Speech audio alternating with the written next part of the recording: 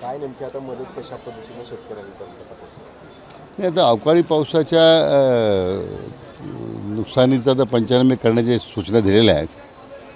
खरं म्हणजे नाशिक जिल्ह्यामध्ये काही भागात आणि नगर जिल्ह्यात काही भागामध्ये किंवा ज्या ज्या भागामध्ये अशा प्रकारचे नुकसान झालेत आता एकदा पंचनाम्याचे झाल्यानंतर एकूण क्षेत्राच्या कडेवर आली सध्या एन डी आर एफच्या नॉर्म्सप्रमाणे मदत करतो पण गेल्या वर्षीसुद्धा आपण अवकाळी पावसाची जी मदत केली ती एन डी आर एफच्या नामपेक्षाही जास्त केली होती आपण.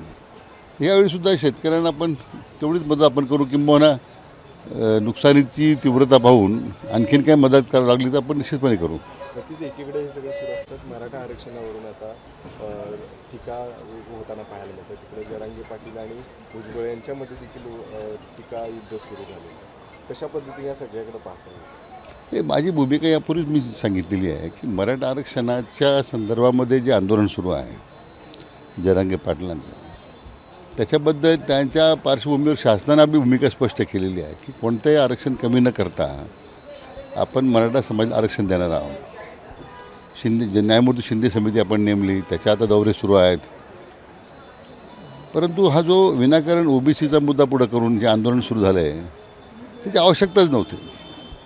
हा ओबीसीमध्ये आरक्षण देण्याचा निर्णय सरकारने केला असता तर मी त्यांचं आंदोलन समजू शकलो असतो. पण मला वाटतं म्हणजे विनाकारण दोन समाजामध्ये ओबीसी विरुद्ध मराठा असा जो वाद सुरू झाला हा निरर्थक आहे.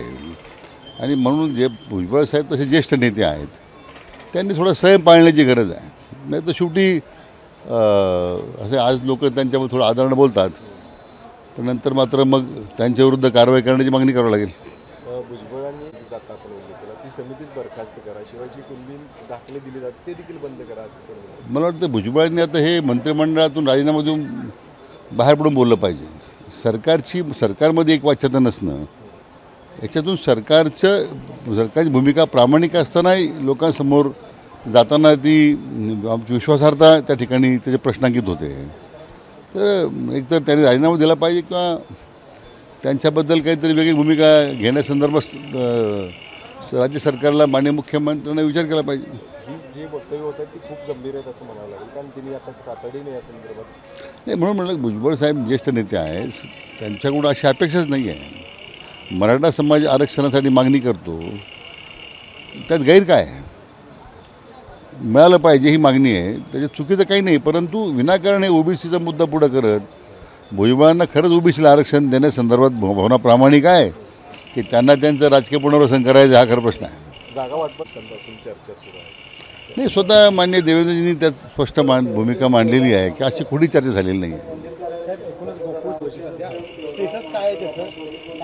नाही आता अहवाल जॉईंट रजिस्टरचा अहवाल प्राप्त होतोय.